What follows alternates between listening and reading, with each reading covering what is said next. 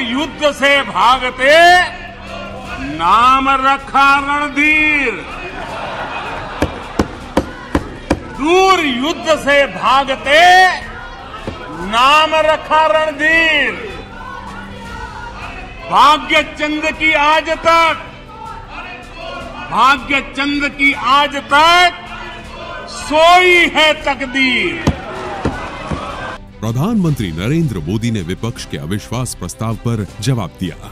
अपने संबोधन के दौरान उन्होंने विपक्ष पर करारा हमला बोला और कहा कि विपक्ष का अविश्वास प्रस्ताव हमारे लिए शुभ होता है।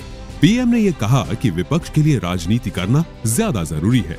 प्रधानमंत्री ने कांग्रेस पर अधीर रंजन को दरकिनार करने की वजह पूछी। साथ ही उन्होंने तंग कसते हुए कहा कि अधीर रंजन गुड़ का गोबर करने में माहिर है। अधीर बाबू को क्या हाल हो गया? उनकी पार्टी ने उन्हें बोलने का मौका नहीं दिया। ये तो कल अमित भाई ने बहुत बहुत जिम्मेवारी के साथ कहा कि भाई अच्छा नहीं लग रहा है। और आपकी उदारता थी कि उनका समय समाप्त हो गया था तो भी आपने उनको आज मौका दिया। लेकिन गुड़ का गोबर कैसे करना उसमें ये माहिर है। अपनी बात साबित करने के लिए प्रधानमंत्री ने कई उदाहरण भी दिए आप खुद ही सुनिए। विपक्ष के लोगों को एक सीक्रेट वरदान मिला हुआ है। हाँ।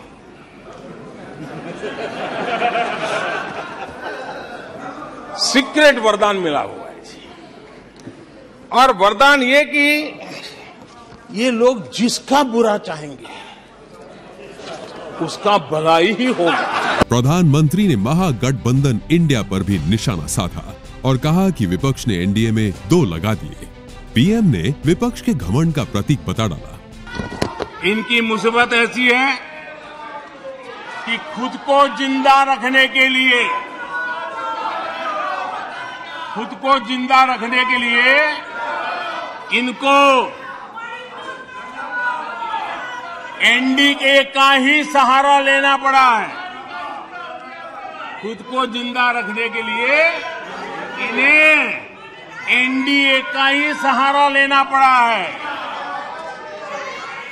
लेकिन आदत के मुताबिक घमंड का जो आई है ना, आई, वो उनको छोड़ता नहीं है। और इसलिए एनडीए में दो आई पिरो दिए दो घमंड के आई पिरो दिए। पहला आई 26 दलों का घमंड और दूसरा आई एक परिवार का घमंड।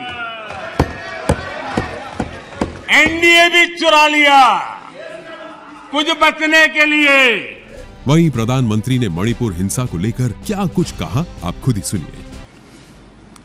कड़ी से कड़ी सजा दिलवाने के लिए केंद्र सरकार, राज्य सरकार मिलकर के भरपूर प्रयास कर रही है। और मैं देश के सभी नागरिकों को आश्वस्त करना चाहता हूँ कि जिस प्रकार से प्रयास चल रहे हैं, निकट भविष्य में शांति का सूरज ज़रूर उगेगा। सदन आपके साथ। हम सब मिलकर के, कोई यहाँ हो या ना हो, हम सब मिलकर के इस चुनौती का समाधान निकालेंगे। वहाँ फिर से शांति की स्थापना होगी। मैं मणिपुर के लोगों को विश्वास दिलाता हूँ कि मणिपुर फिर विकास की राह पर तेज गति से आगे बढ़े।